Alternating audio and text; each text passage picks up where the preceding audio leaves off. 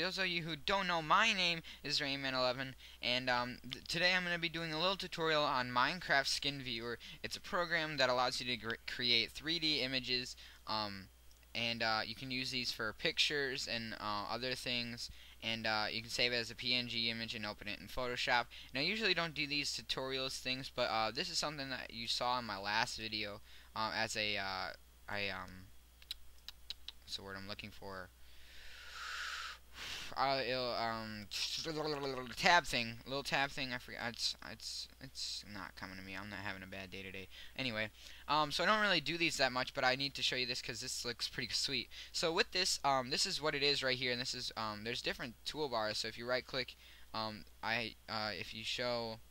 Uh, it's right, toolbars. There's all these toolbars, and I'll bring them all up just to show you uh, toolbars and backgrounds. So these are this is basically everything that you get. Um, and with this, uh, you can type in a name right here, and this is my name, uh, and it'll show up the skin. Skin. So we can put in Twixmo and get in Twix's skin, and we can change the background here for the image. Uh, but for those of you who usually edit this in Photoshop or in any other thing, I choose this. This is the transparent one, and this allows you to just absolutely take just the guy uh, and you can move them around. So with this, there's comes some uh, these default images right here. This is zombie.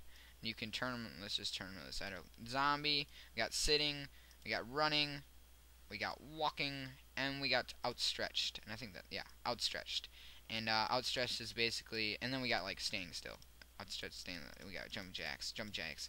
Um, and then down here, uh, this is the animation.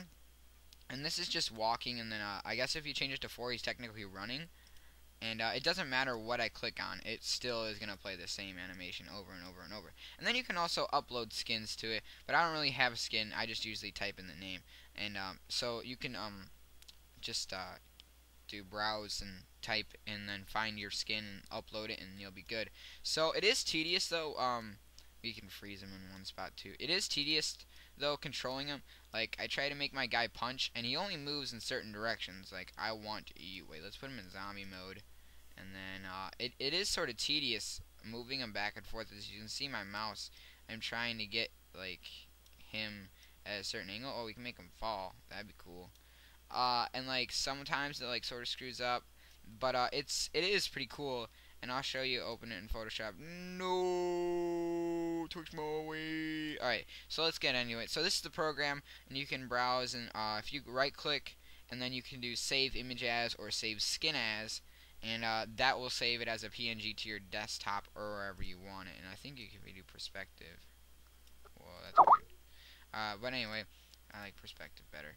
And uh, so then you have all these and just right click. So there's the program. And uh, when you download it, you get this little skin viewer right here. Um, and uh, it's just an exe that you download. The link will be in the description. And it comes up to this download right here, and you just download it. And uh, it'll come down here as an exe just uh, run the exe. I'm going to try to run it for you guys because I, I run and uh, I don't know if it will download or what. Yeah, it just opens the exact thing onto it. Um, it, but it just opens up, and I first, when I had it, I got a DL error, um, a dot .NET framework error, and uh, all I had to do was look up the exact framework, and if you have any questions, just go ahead and ask me, and I will figure out what they are. And gave me a new icon, I was wondering what that was uh, and I will uh, ask you, and I will answer all of them. So it really just gives you this exe. Just run the exe, and then it um, and then it works. So if you like this tutorial, if this is something that you've uh, come across and you'd like to uh, toy around with, um, and put in your screenshots, capture cards, whatever, and put it as your background or something, uh, leave a like. And then uh, if there's any questions that you have regarding this download or anything about this program, please leave it in the comment section below, and I'll be sure to get back to you as soon as I can. Alright, thank you for watching, and I'll see you next time.